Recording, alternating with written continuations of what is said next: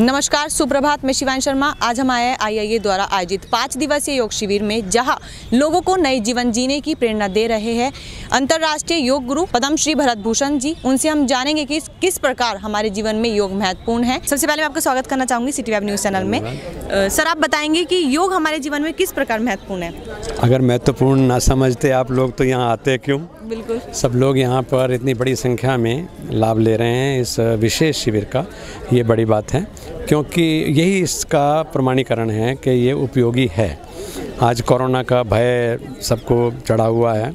उतने के बावजूद भी जो जीवन है, वो जीतता है। जिजीविशा जीतती है। आज सभी लोग बहुत प्रिकॉशंस लेकर के, और ये सबसे बड़ी बात है कि ये इंडियन इंडस्ट्रीज़ एसोसिएशन के द्वारा अपने तरह का पहला आयोजन है और उसकी भा, इस भावना को देखते हुए मैं यहाँ आया हूँ। ये सोच करके कि इनका अधिकार है क्योंकि मैं सहारनपुर का हूँ सहारनपुर के लोगों का मुझ पर अधिकार है। तो हम लेने होने के लिए यहाँ पर आए हैं। और ये विशेष कार्यशाला इसलिए इम्पोर्टेंट है क्योंकि अ, मुझे अगर ध्यान सही है तो भारत में इंडियन इंडस्ट्रीज़ एसोसिएशन की ये पहला चैप्टर है जहाँ पर ये सोचा गया कि जो हमारे इतने उद्यमी हैं मतलब उनकी लाइफ की केयर की जाए, उनका जीवन अमूल्य है। जितना अच्छा वो स्वस्थ रहेंगे, उतना वो देश के लिए काम करेंगे, परिवारों के लिए काम करेंगे, प्रगति में योगदान देंगे। और ख़ास तौर से, क्योंकि योग तो सब तरह के दुखों को दूर करने का साधन है। कायिक क्लेश, मानसिक क्लेश, आत्मिक क्लेश।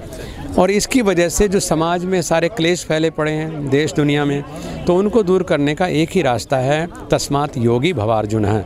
हे अर्जुन, तू योगी बन। तो उसको जो हृदय रोग है ख़ास तौर से, वो ये लाइफ स्टाइल रिलेटेड डिज़ीज़ है और इनहेरिटेड भी होती है।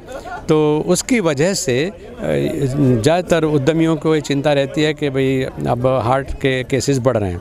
और ये सच्ची बात भी है कि भारत में जो कि दुनिया को तन मन की सेहत देने वाला देश के रूप में जाना जाता रहा, वो इस समय डायबिटीज़ और हार्ट डिज़ीज़ का कैपिटल बनता चला जा रहा है, दुनिया का कैपिटल तो वो चिंता की बात है। तो इसमें हमने पूरी तरह फोकस ये किया कि पाँच दिन में अपने सभी उद्यमी भाइयों को और उनके परिवारजनों को, और उन्होंने सबसे बड़ी बात ये की कि आम जन के लिए भी ये कोशिश की कि वो भी उससे लाभान्वित हो सके। तो इस तरह से जैसे बांटने वाले को मेहंदी का रंग लगता है तो वो उस रंग को भी लेना चाहते हैं। और इसलिए सभी लोगों के लिए, चाहे वो यहाँ पर कुछ पेस मेकर लगाए हुए केसेज हैं, कुछ जो हैं आर्टिस्ट में ब्लॉकेजेस के केसेज हैं, कुछ लोगों ने वो लगा लिया है अपना जो वॉल पेस ये जो स्टन लगे, डले हुए हैं, दो दो, तीन तीन स्टन वाले लोग भी हैं तो वो लोग चाहते हैं कि भाई हम लोग भी कैसे स्वस्थ रहें। तो मैंने उनको ये बताया कि जो जो कि योग की वाणी है, मेरी अपनी नहीं है, कि जब तक आपका पास सांस है, तब तक आप योग साधना कर सकते हैं। तो इसलिए आप सभी लोग, चाहे वो रोगी है, चाहे वो भोगी है चाहे वो इंडियन है, चाहे वो विदेशी है, सब लोगों को योग करने का अधिकार है और उसका लाभ उनको लेना ही चाहिए।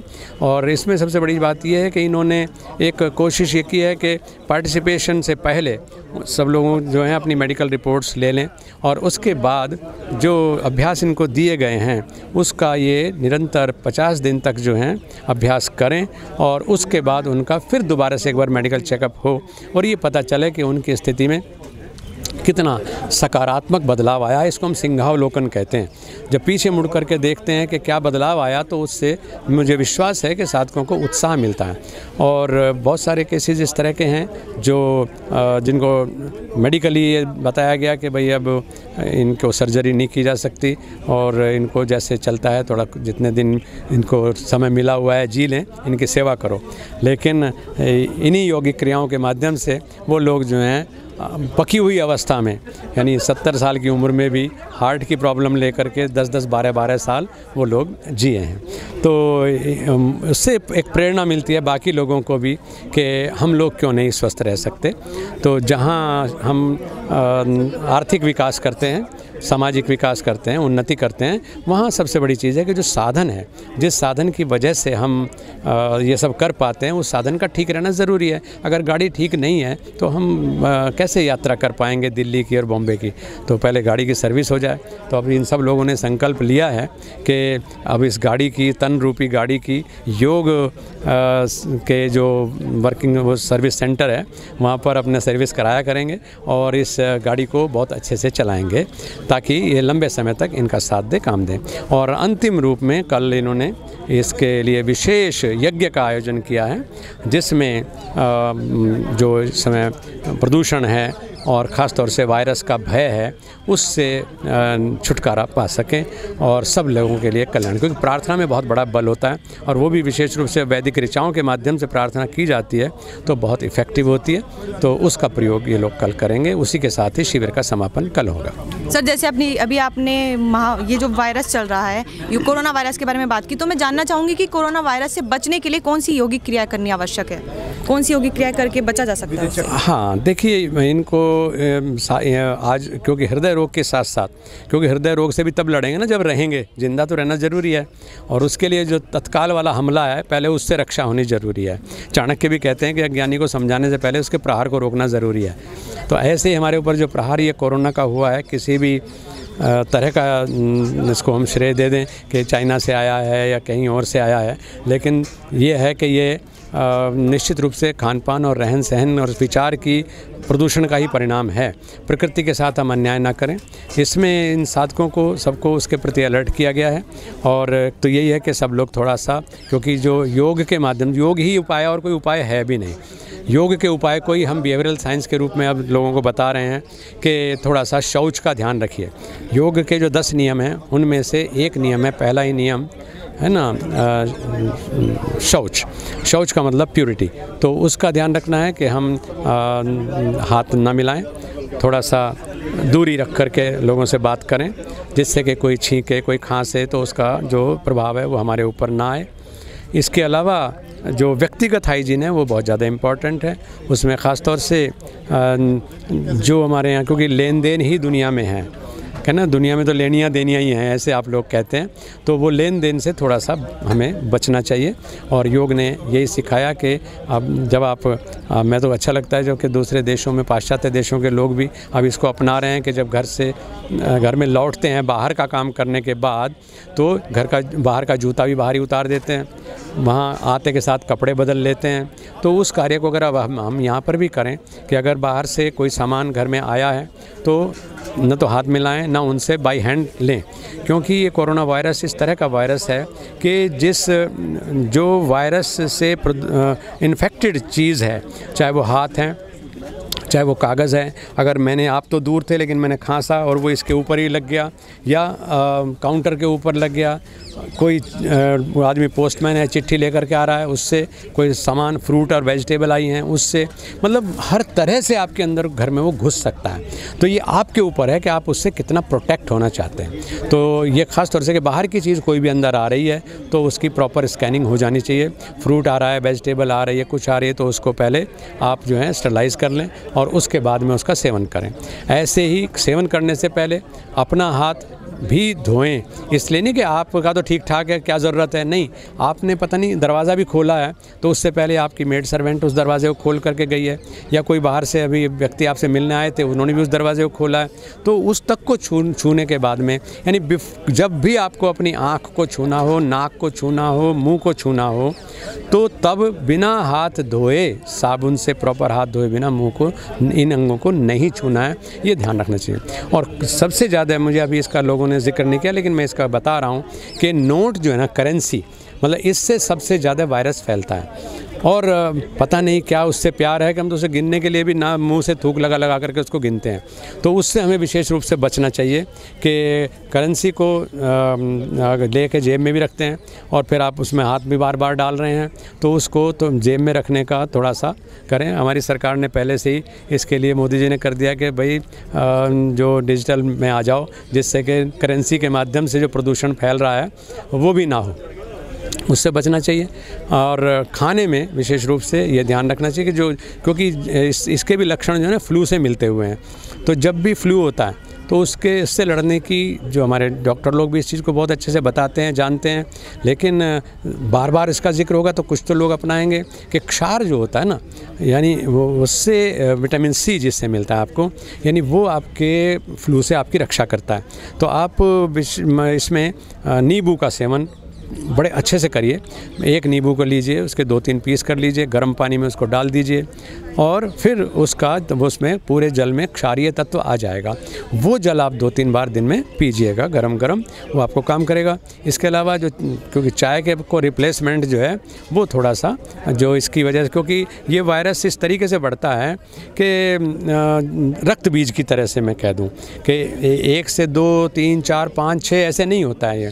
रक्त बीज के बढ़ने का क्या था कि वो एक से दो दो से चार चार से आठ आठ से सोलह सोलह से बत्तीस, वो इस तरह बढ़ता है। तो जब आपका वायरस ये अंदर चला गया और इसने लंग्स में जगह बना ली तो कुछ ही समय बाद ये स्थिति हो जाती है कि लंग्स में वायु वायु के आने जाने की जगह भी नहीं बचती है और दम घुटने से प्राय व्यक्ति मर जाता है। देखने में तो अट्टा कट्टा है, लेकिन उससे होगा। उसको, इसकी वजह से इन्फेक्शंस होंगे बुखार उखार भी रहने लगता है। तो अच्छा तरीका यह है कि योग में नेति क्रिया क्योंकि नेति का काम हो, ही है धुलाई करना। तो ये क्योंकि नाक से गया, चाहे आँख से गया, ये चैम्बर में आपके जाएगा।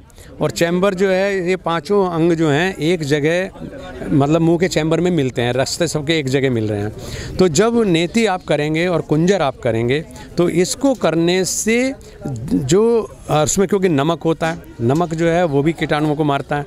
उसमें गर्म पानी है, गर्म पानी भी जो है कीटाणु को मारता है। यहाँ तक कि जब घर में आप घुसेंगे तो अपने कपड़ों को भी गर्म पानी से धोइएगा तो उस कीटाणु, ताकि वो कीटाणु रहित हो जाए। तो ऐसे ही जो गर्म पानी, नमक वाला आप नेति क्रिया करेंगे उससे और फिर कोई अगर जम भी जाता है, पकड़ लेता है वो तो जैसे हम कहते हैं हाथ से धोने के लिए साबुन से कम से कम 20 मिनट 20 सेकंड इसको मलिए। उसी तरह से ने, जब जल ने, सूत्र नेति करेंगे तो सूत्र नेति से अगर बैक्टीरिया ने जगह बना लिए वो यानी जब चिपक भी गया है तो वो भी उससे निकल करके बाहर आ जाएगा। दूसरी योगिक क्रिया इसमें है, विशेष रूप से जो भारत योग की विरेचन क्रिया है। विरेचन क्रिया का मतलब ही है एक्सपल्शन क्योंकि बाकी जो प्राणायाम हम करते हैं, उसमें सांस लेने का पर भी ज़ोर है और छोड़ने पर भी ज़ोर होता है। बाह्य कुंभक लगता है, अभ्यंतर कुंभक लगता है। लेकिन जो विरेचन क्रिया है, इसमें सांस लेना होता है केवल ज़िंदा रहने के लिए और उससे फोर्स के साथ हम बाहर फेंकते हैं। सांस लेने का इसे पता भी नहीं चलता, आवाज़ भी नहीं आती है और लगातार जो है धोखनी की तरह से इसमें हम सांस से बाहर बाहर, बार बार, बराबर सांस बाहर फेंकते हैं। तो उससे क्या होता है कि वायु के का गुण है कि वो सुखाती है। और इसके करने से जो अग्नि यानी हीट जनरेट होती है हमारे शरीर में, वो जलाती है। गीता में ही भगवान कृष्ण ने इसको दिया कि न शोषायती मारुत है, आत्मा को वायु नहीं सुखा सकती। लेकिन वायरस को तो सुखा सकती है। तो जब हम विरेचन क्रिया करते हैं तो अगर हमारे स्नोफिल्स में या अंदर जो श्वास नली है, यानी उस तक भी उसका प्रकोप अगर है, यहाँ तक कि फेफड़े में भी अगर हो गया है तो विरेचन के माध्यम से हम उसको बर्न कर सकते हैं, सुखा सकते हैं और जो कफ के माध्यम से उसको हम बाहर भी निकाल सकते हैं। तो ये बहुत ही उपयोगी क्रिया है, इसको ज़रूर ज़रूर करना है। रेजिस्टेंस डेवलप करने के लिए सूर्य नमस्कार का अभ्यास सब लोगों को करना चाहिए, क्योंकि दवाई इतना काम नहीं करती। मैं, गंदगी को आप फेंकते रहें उठा उठा के, वो भी इतना काम नहीं करता, जितना काम करता है कि आप कितना झेल सकते हैं। तो जो सूर्य नमस्कार है, वो सीधा सूर्य से जुड़ा हुआ अभ्यास है और उसको करना हमें आना चाहिए। उसके मंत्र हमें पता होने चाहिए। नहीं भी पता है तो आप केवल क्रियाओं को भी अगर करेंगे तो वो आपकी जो प्रतिरोधक शक्ति है रेजिस्टेंस पावर है, रोगों से लड़ने की ताकत है, उसको बढ़ा देगा। एक आदमी को ज़रा सा भी इन्फेक्शन जान ले लेता है, और एक व्यक्ति ऐसा होता है कि उसे कोई फ़र्क नहीं पड़ता। वो इसलिए कि उसकी प्रतिरोधक शक्ति ज़्यादा है, और दूसरे की प्रतिरोधक शक्ति बहुत कम है। तो जो अबव फिफ्टी लोग हैं साठ, सत्तर साल, अस्सी साल की उम्र के लोग, उनको जैसे बच्चे की देखभाल करते हैं, ऐसे स्पेशल केयर उनकी की जाए, क्योंकि उनकी प्रतिरोधक शक्ति कम है।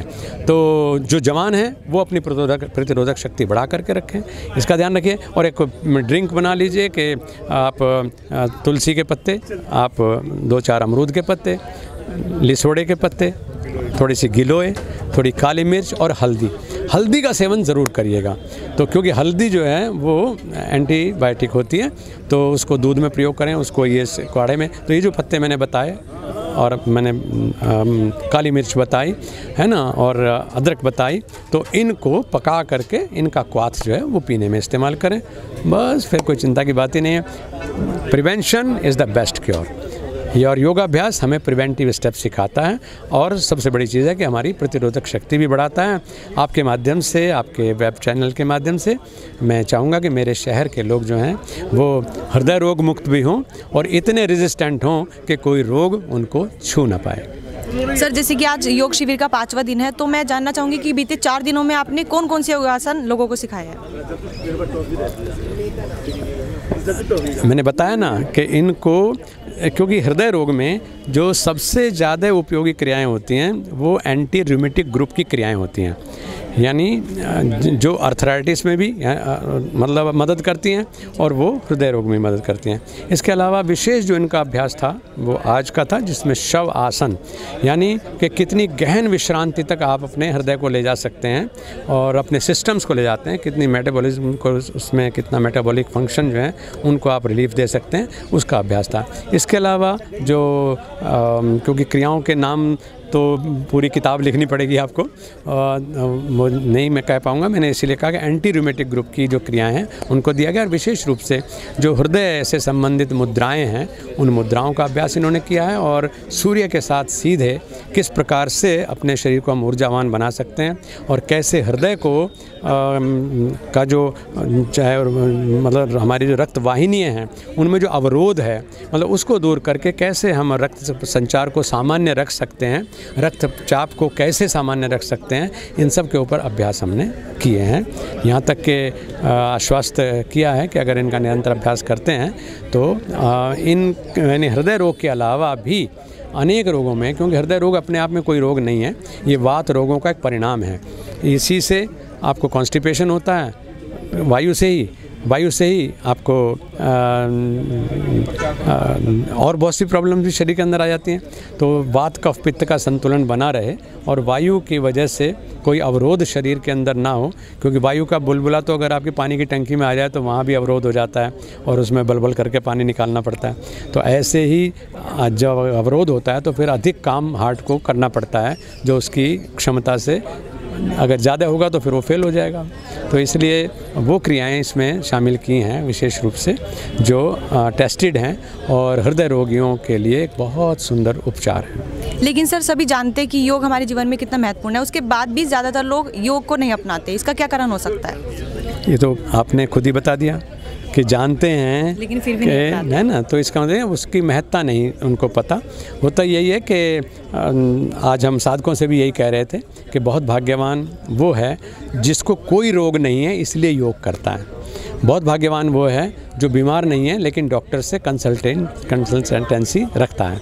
वो जो कंसल्टेंसी है वो उनको रोग से बचाए रखती है। तो इसी तरह से जो अ, लेकिन आम आदमी ये सोचता है कि मैं तो ठीक ठीक हूँ मुझे तो योग की ज़रूरत नहीं है। मैं तो ठीक हूँ मुझे डॉक्टर के पास जाने की क्या ज़रूरत है? जब उनके घुटने काम करने बंद कर देंगे जब उनके कंधे काम करने बंद कर देंगे जब जो है ब्रीदिंग प्रॉब्लम हो जाएगी जब डायबिटीज़ बहुत बढ़ जाएगी तब कहेंगे भाई अब तो काम नहीं चल रहा डॉक्टर के पास जाना ही पड़ेगा। या आश्रम में चलो गुरुजी के पास चलते हैं। तो उसमें ख़राब करने के बाद ठीक करने में मौलिकता नहीं आती है। ओरिजिनली आपके अगर घुटने बेकार हो गए हैं तो उन, आप घुटने से चलने लायक तो डॉक्टर साहब बना देंगे आपको ऑपरेशन करके, दवाइयाँ आपको दोबारा से ठीक कर देंगी, हार्ट में भी स्टन डाल करके आप ठीक हो जाएँगे, काम चलाओ। लेकिन जो आपका ओरिजिनल हृदय है, जानदार तो वो आप खो देंगे। तो इसलिए योग में आने का फ़ायदा ये है कि आपको पैसा भी कम खर्च होता है, बल्कि नहीं होता। है है ना? और शरीर के ऊपर जो है ज़्यादा ज़्यादती आपको नहीं करनी पड़ती, ऑपरेशंस वगैरह से आप बचे रह सकते हैं। तो इतना फ़ायदा जानना चाहिए। और आप जैसे जो, क्योंकि देखिए, मीडिया जो है, वो इतना मज़बूत माध्यम है कि इसके माध्यम से अगर सही समाज जानकारी जाती है तो बहुत लोगों को प्रेरणा मिलती है। इसके माध्यम से आप अच्छा संदेश दे सकते हैं। और इसके माध्यम से अगर हिंसा, बलात्कार और ये एक दूसरे के जातिवाद, ऊंच नीच ये चीज़ें जाएँगी तो देश में लगेगा सारी जगह, सब जगह जो है अराजकता फैल गई है। तो आपके माध्यम से अच्छे समाचार जाएँ, आपके माध्यम से अच्छी जानकारी जाए। मैं धन्यवाद करता हूँ कि आप यहाँ पर आए और ये जो कोने में बैठ कर के लोग योग साधना कर रहे थे, इनकी आवाज़ आप दुनिया के लिए, सहारनपुर के अन्य लोगों के लिए आस पड़ोस के क्षेत्रों के लिए फैलाना चाहते हैं। धन्यवाद।